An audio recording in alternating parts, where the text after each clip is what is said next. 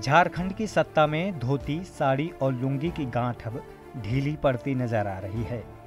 गरीबों का तन ढकने के लिए साल 2014 में सीएम रहते हुए हेमंत सोरेन ने अपने दादा और दादी के नाम पर धोती, साड़ी, सोना सोबरन योजना की शुरुआत की थी।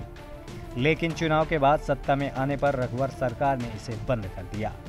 साल 2019 में हेमंत सरकार ने दोबारा सोना सोबरन योजना को धरातल पर उतारा। योजना के तहत बीपीएल तबके के लाल और हरा कार्ड धारकों को साल में दो बार दस रुपए में धोती, साड़ी और लुंगी देने का प्रावधान है। इसके लिए सरकार ने 500 करोड़ रुपए के बजट का प्रावधान भी रखा है।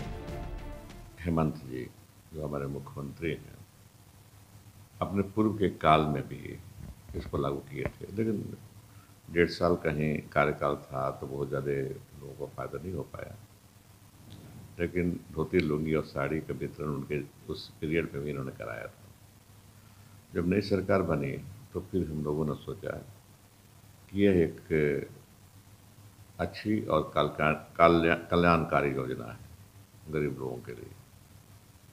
लगभग अंठावन लाख कार्ड हैं हमारे पास, राशन कार्ड, धारी अभी, और हरा कार्ड वाले लगभग चार लाख होने जा रहे हैं कार्डधारी बासठ लाख लोगों को देना है।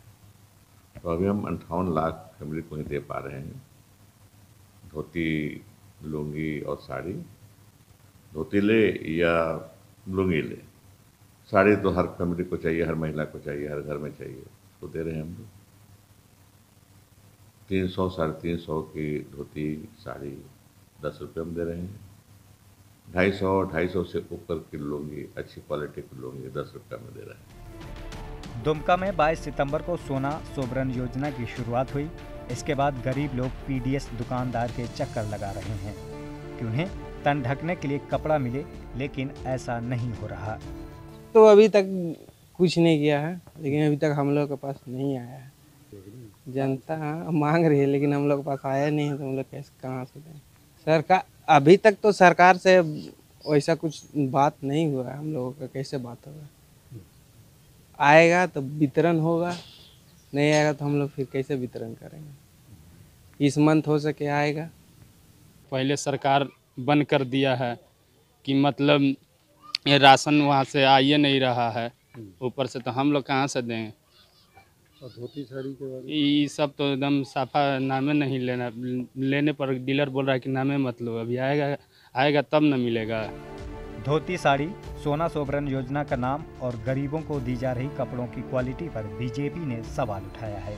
जो अपने समाज के प्रेरणा या प्रेरक रहे हैं, जिनका योगदान रहा है, उनके नाम से श्रद्धांजलि के रूप में उनके प्रेरणा समाज को प्रेरणा देने के लिए, उनके प्रति कृतज्ञता व्यक्त करने के लिए उनके बलिदान, त्याग, इसके लिए ऐसा किया जाता है। लेकिन माननीय मुख्यमंत्री जी के दादा और दादी जी हैं सोना सुब्रम उनके नाम पर यह योजना उन्होंने चलाया है। नाम से जो भी चलाए, लेकिन दस रुपये लेकर के, बीस रुपये लेकर के जो देना है, कल ही चंदन कार्य में हम लोग समीक्षा कर रहे थे, तीस रुपया लिया जा रहा है, चालीस रुपया लिया जा रहा है। और जैसा हम लोगों को सूचना है, कहीं पाँच, पचास रुपया, सौ रुपया में इसका टेंडर निकला है, जो आप दे रहे हैं, या पाँच सौ रुपये में, दस रुपये में दे रहे हैं, इसकी क्वालिटी की जाँच करा लीजिए।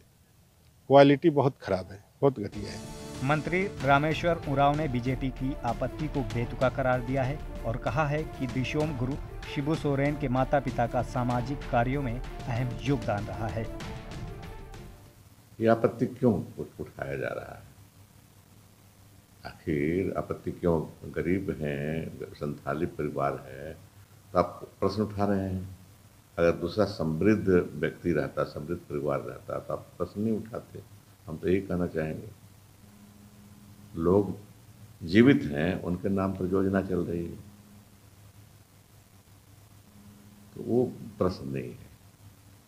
वो सेक्रीफाइस किया उन्होंने, उनका परिवार सेक्रीफाइस किया है।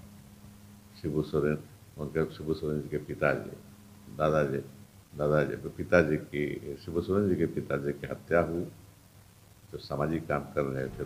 धोती, साड़ी, सोना, सोबरन योजना अपने नाम और काम को लेकर विपक्ष के निशाने पर है। उठते सवालों पर जवाब भी दिया जा रहा है, लेकिन ज़मीनी सच्चाई यही है कि सियासत और अव्यवस्था की जद में योजना धरातल पर नहीं दिख रही है। Bhuvan Kishore Jha E TV Bharat, Ranchi.